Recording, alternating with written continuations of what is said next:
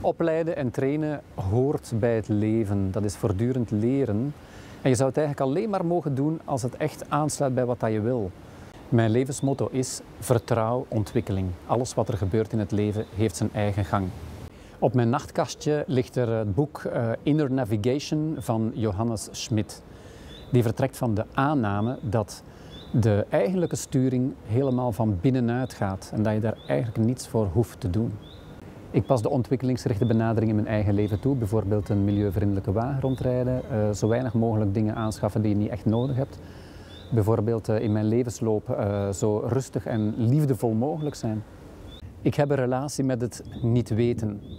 En het niet weten is mysterie, is een diepe vorm van geloof, een nederige plaats van de mens. Ik ben geïnspireerd door filosofen en antropologen, bijvoorbeeld Heidegger, de filosoof, of de antropoloog Bateson. Ook uh, architecten, Christopher Alexander. mensen die eigenlijk gezocht hebben wanneer leven echt aanwezig is in structuren. Kennis is dood. Kennis heeft inspiratie nodig om terug tot leven te komen. En dat gebeurt alleen maar door degene die het over de kennis heeft. Onderzoek betekent eigenlijk nieuwsgierig zijn. Als een kind naar de wereld kijken. Het is helemaal niet saai. Heeft niets te maken met wetenschap, maar met een algemeen menselijke drang om te willen weten, ook al weet je het niet.